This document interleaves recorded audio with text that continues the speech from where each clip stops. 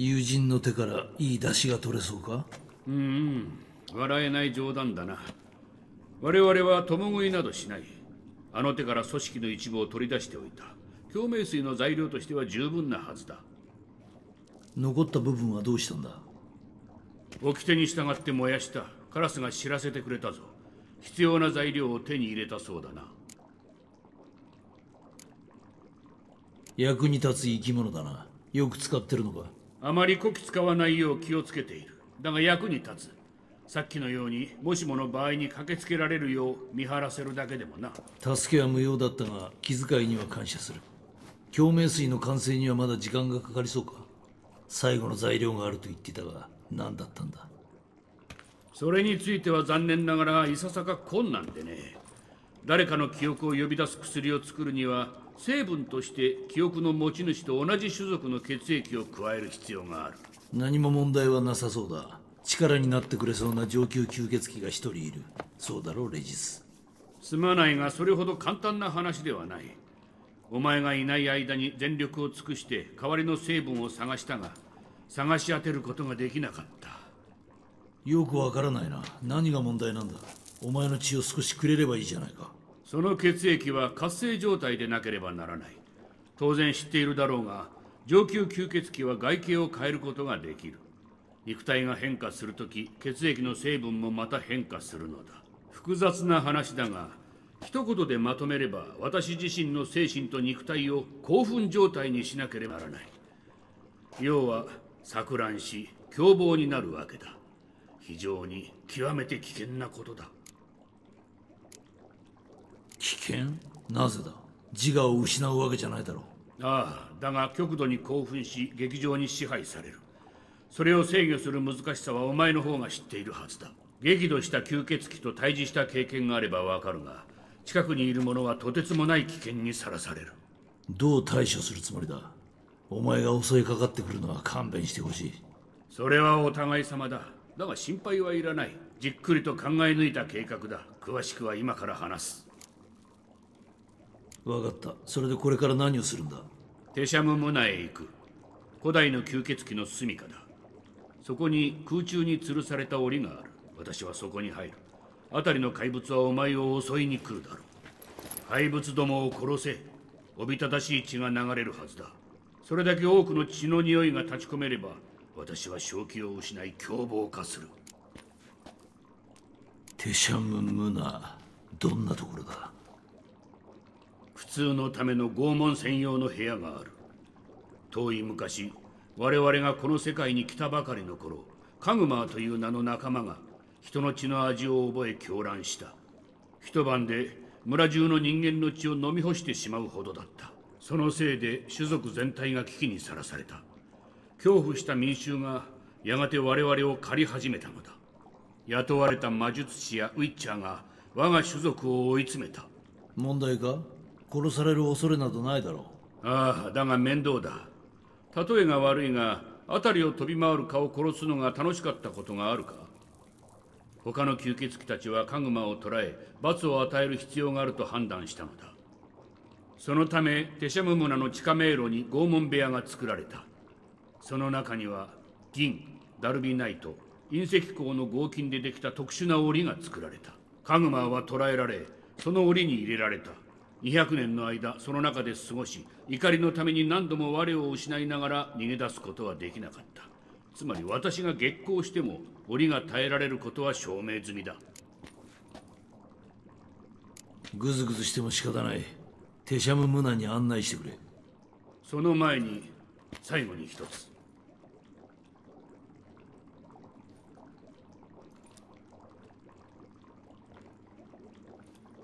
何を飲んだ？血液だ。カラスの最後の贈り物さ。それにサングリウムも飲んでおいた。嗅覚を鋭くする水薬だ。今の私には一滴の力桶一杯分の血の匂いが感じられる。どうかしてる。依存症が再発するぞ。私のために怒ってくれて嬉しいよゲラルト。だが落ち着けこうするほかなかった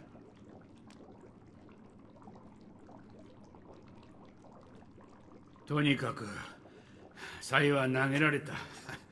手しゃむ村へ向かおうもうすでに頭が揺さぶられるようでお前の匂いが我が食欲をそそるが。はあ怖くなってきたよ。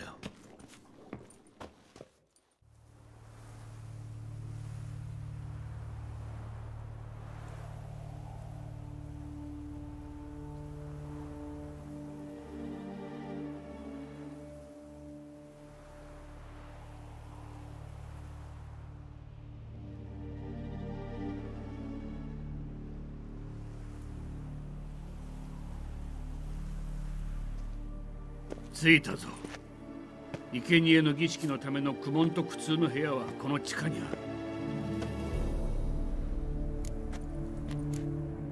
何をするか分かっているのか？そう願いたい。早く行かないか。遅れればその分だけ力の制御が難しくなる。お前を襲うことだけはどうしても避けたいのだ。先導してくれ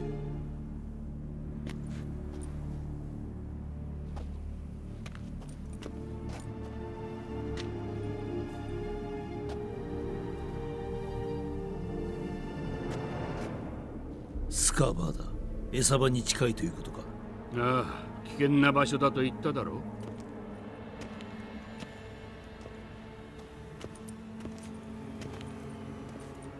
ああこの壁の向こうが。古代の吸血鬼の地下迷宮か。近代のものはたくさん見てきたがこんなものは初めてだ。それは光栄だな。お前ほどの豊富な経験を持つ男に初めての体験をさせることができるとはさあ開くぞ。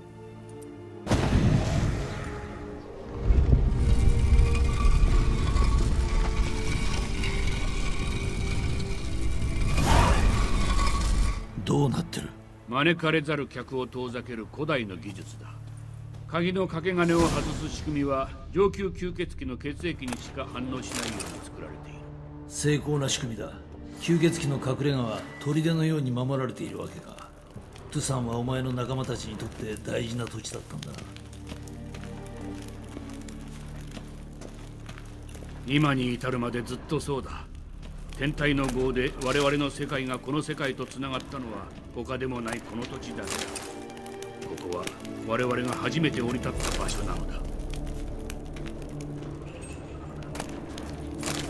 人間の飼育と管理なんて本だ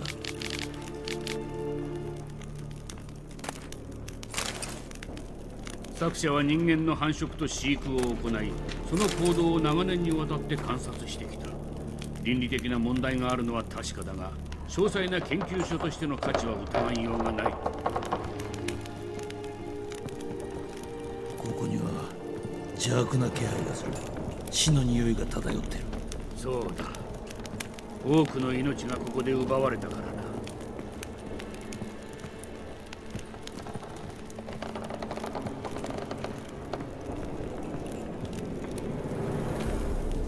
岩に記号が刻まれている。その上から血がかかったようだ。何か意味があるのか。それらは紋章だ。それぞれ人間の言葉でそうだな。部族とでも呼ぶ集団を表す。天体の号の後世界各地に散らばってしまった。祖先は我々の出自を忘れないためにここに刻みつけたのだ。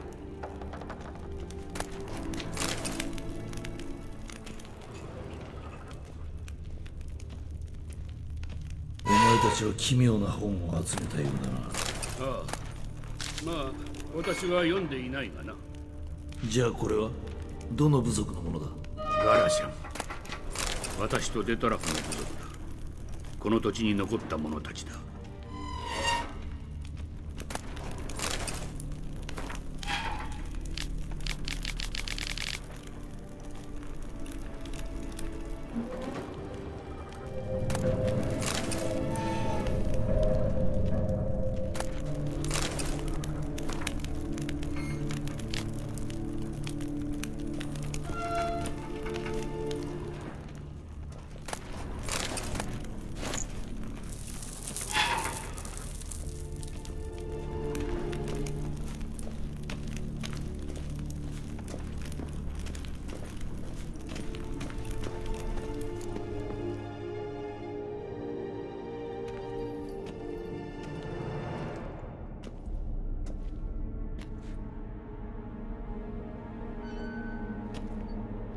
趣味のいい部屋だ。だがこれらの檻は何のためのものだ？吸血鬼は一人じゃなかったか？なんというか祖先はあまり人道主義に馴染みがなかった。カグマーが最も苦しむ罰を考えた挙句血の匂いに包まれながら血を味わえないという責め苦を考え出したのだ。そこでここに人間を連れてきて少しずつ血を流すようにしたのだ。カグマーは苦しみのあまり大声で叫んで暴れ人間たちは血を失ってじわじわと死んでいった。物のように扱われたんだな。過去に戻れたら考えずにいられたらそう思う。だがどちらも無理だ。同胞の罪を恥じるのが精一杯さ。気にするな。お前はその場にいなかった。それより俺たちの仕事をしよう。変な話をしてしまったな餌を用意したから置いてきてくれ。穴の入り口に置くのが一番だ。そうすれば効率よく匂いが広がる。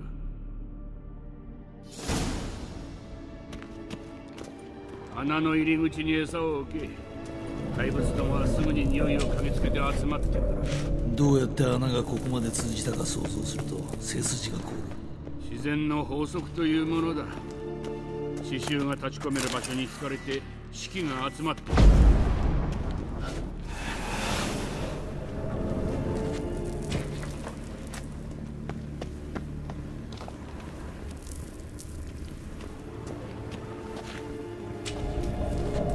3つ終わった。あと1つだ。うまくいくと思うか？心からそう願ってる。その肉の匂いは強烈でノビグラドまで届く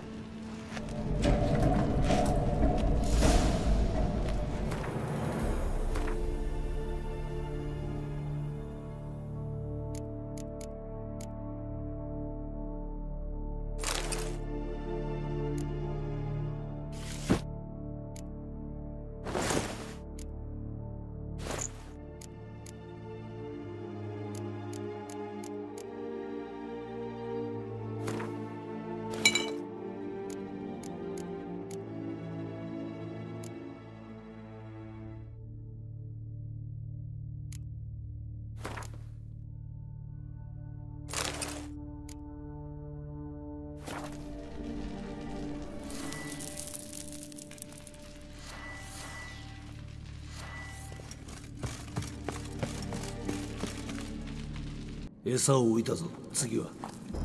私は檻に入る外から閉じ込めてくれ。檻の金属が霧へと変身する力を封じ込めるようにできている。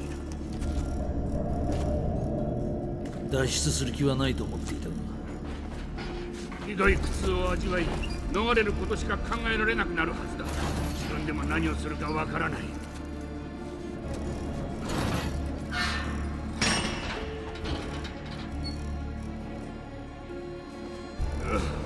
急ごう怪物どもは匂いを嗅ぎつけたはずだそれにすでに目が回ってきた血のせいか吸血鬼として知恵の渇望を経験したことがなければこの辛さは想像もつく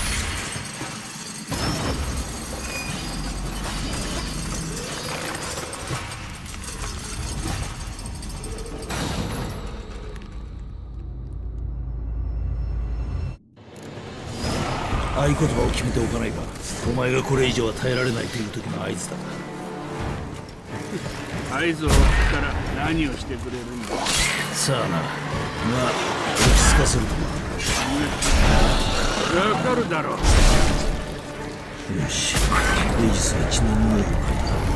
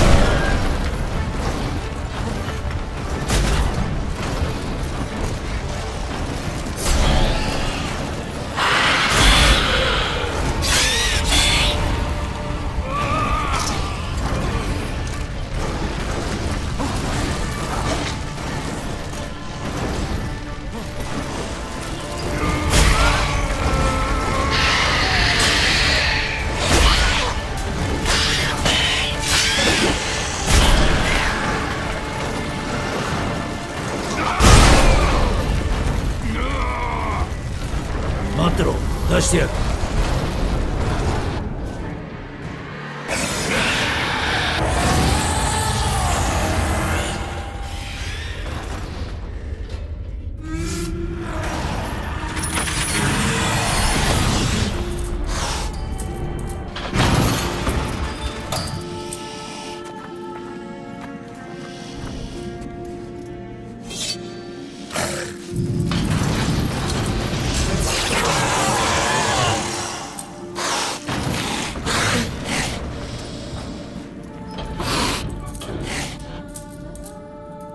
しだけ耐えてくれ。あと数時間で血は乾く。匂いに悩むか。ら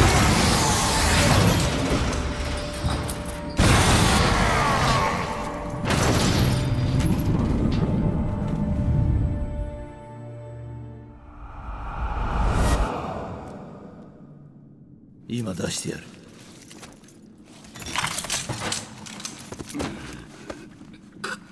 薬を。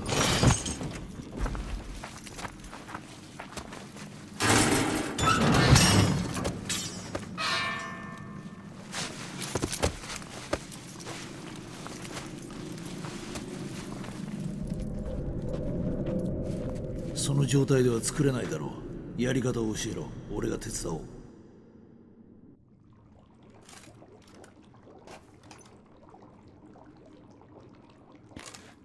気分はどうだ？健康には程遠いし完全に回復するにはまだまだ時間がかかる。だがおかげさまで少しはマシだ。あんなことになるとは思わなかった。なぜ黙っていた？必要がなかったから。だいやあった。もしお前が自らを苦痛にさらすつもりだと知っていたら。だとしたら何だ？他の方法を探そうとした。私は他の方法を選んでほしくなかった。そのことは考えなかったのか？考えなかった。あれほどの苦痛を自らに与えたいと思う者などいないと思っていたからだ。その点では吸血鬼も人間も同じはずだ。言っただろう。あの苦痛は受けた恩の代償だ。デトラフへの大きな借りを返すためだもう一度やれと言われても迷わずやるさ。共鳴水が完成したぞ。製法通りだな。素材の比率を守り決められた時間で調合したか。重要なことなんだゲラルト。小さな間違いでも大変な危険を呼ぶ。ウィッチャーも例外じゃない。安心しろ。霊薬の調合経験は豊富だ。それならいい。では始めようか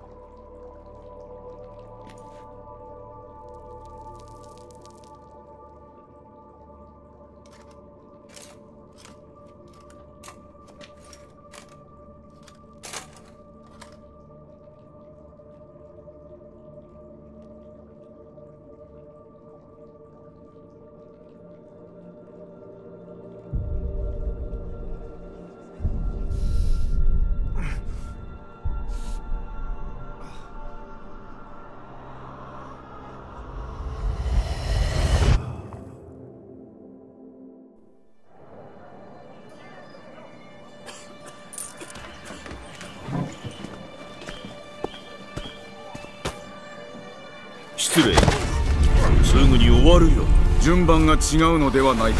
ですが伯爵ご理解を。もうすぐ大事な会。そこの方あなたが次だった。おかけなさいな。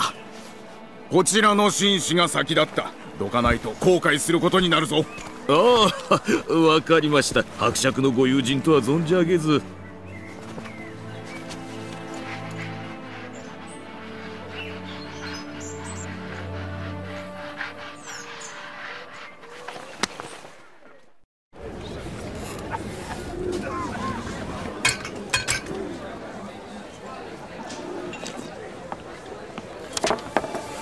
彼に席を譲るように命じた時は傑作だったな。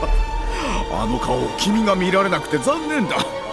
無礼者を成敗してやったらデトラフ。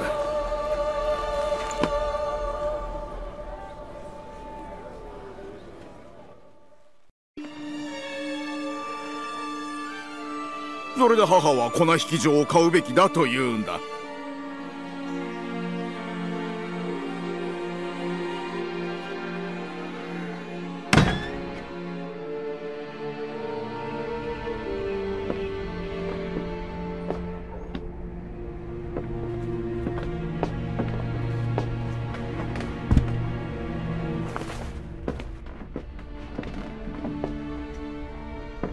だけどまあ友人たちに聞かせる話のネタにはなる。すまない。